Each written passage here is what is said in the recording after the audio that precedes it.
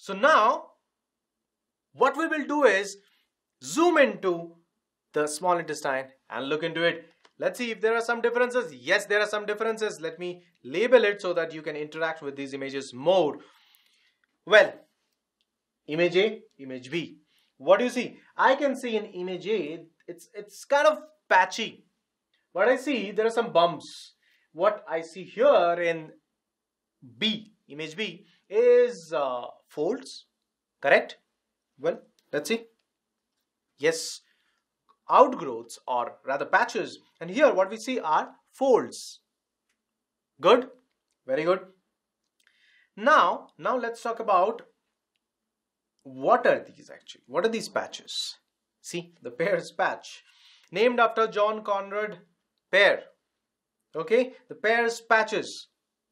Now, note it down, it's unique characteristics of the ileum. Unique characteristics of the ileum here in small intestine. Fine. Now, what are these actually? These are nothing but clusters of the lymphatic tissue. Now, if I'm talking about lymphatic tissue, any guesses what is uh, the function? Oh, okay. I gave you a hint here in the slide itself. Produce a type of white blood cells called the lymphocyte. Now tell me, what would be the function? Of course, it's a very important part of the immune response. Correct? Okay. So, important part of the immune system. It monitors the bacterial populations in the intestine. If, if there are, by chance, by chance, if there are some pathogenic bacteria which has entered, these will start acting. These will start the immune response over there. Correct? Yes, that's a function. Now let's talk about the folds. It's known as the plicae circularis. The folds known as plicae circularis also called the valve of Kerkring.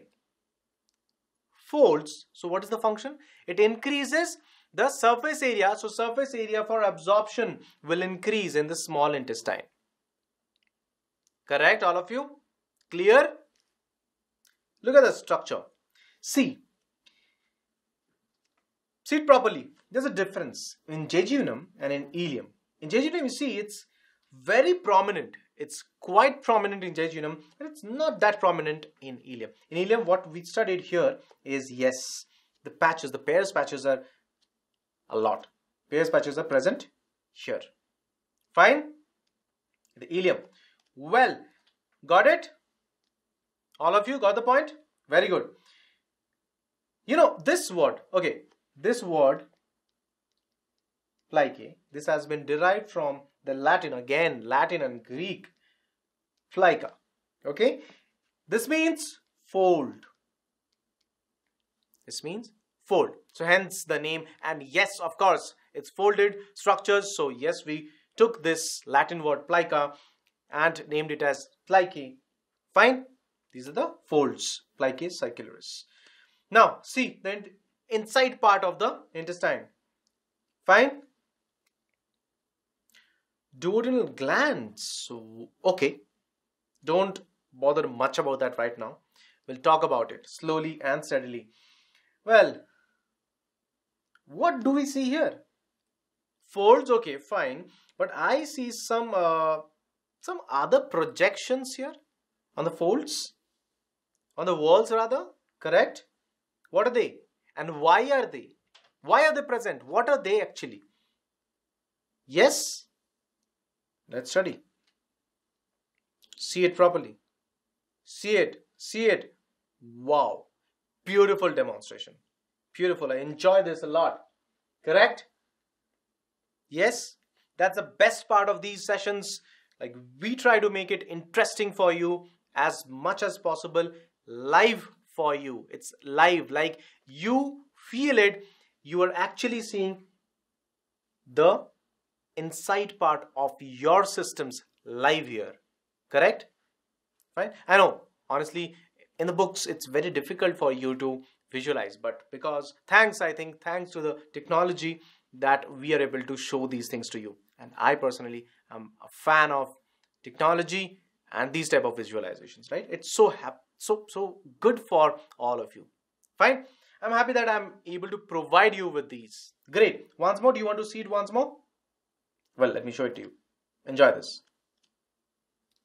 A lot of effort actually went to prepare this, so we should spend some good amount of time here.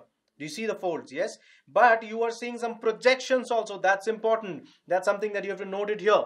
Okay. So what are these projections? What are these projections? Well, let's talk about it. Let's talk about these projections. Now take a closer look. Tiny, uh, what I see is like finger-like. Do they seem finger? Like fingers? Correct? Finger-like? Correct? Yes or no? Finger-like projections? They are known as villi. Yes, they are the intestinal villi. But wait, do they resemble something that we have already seen? Uh, the next hint would be, um, okay, in the animal kingdom. They resemble something. A similar picture we have already seen there. Yes, remember that fish who actually hides into these structures? Yeah, sea anemone? Yes, very good. Finding Nemo. Correct? Seen the movie. Okay, so let's get back. Well, villi. These are the finger-like projections present composed of layer mucosa. This mucosa layer is what we are going to study today towards the end of the session. Find the different layers of the alimentary canal. See, why finger-like projections? Actually, it's it looks like the fingers. Got it? You know what's the function? Of course, it's increasing the surface area for absorption and that's one of the main functions of the small intestine, right? Absorption, much more absorption should happen. Absorption of the nutrients, the food that has been digested, the nutrients has to be absorbed. Well, see, this villi, they, these villi, they are covered by epithelium, okay? To be more specific, if you remember, columnar epithelial cells. Columnar epithelial cells, correct? Remember, column-like. Fine? Very good. They have lacteal. It's nothing but the lymph capillary and blood capillaries also. Very important. They have the lymph capillary known as the lacteal and they also have the blood capillaries. Of course, these are the area where absorption will happen. Absorption into blood. So blood capillaries definitely will have to be present over here. Correct? Don't bother about all the other labels like crypts of Lieberkühn. Don't worry right now. I'll talk about it. Okay, very soon, very soon. Got what is villi? What are villi basically? Correct? Surface area for absorption is increased due to these structures. It doesn't get over here. There are smaller microscopic projections. Microscopic projections called the microvilli. So, intestine, villi here there are microscopic projections which are known as microvilli. Fine. If you zoom into a single villi, you will see tiny, very tiny hair-like projections and because of that it gives a brush border appearance. Look here. It's a very well analogy that we can use to remember this. Brush border appearance. Fine. It gives a brush border appearance. Fine. Got it?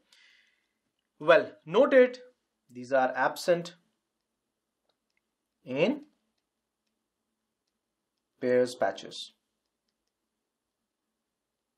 Questions can be asked, so please note this down.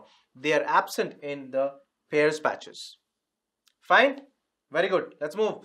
So they increase the surface area of the absorptive surface area in the small intestine. You know about it now. Again, a nice demonstration for you. See, finger-like projections. Finger-like projections and there there are small, small, small, small hair-like projections I would say. So they are the microvilli.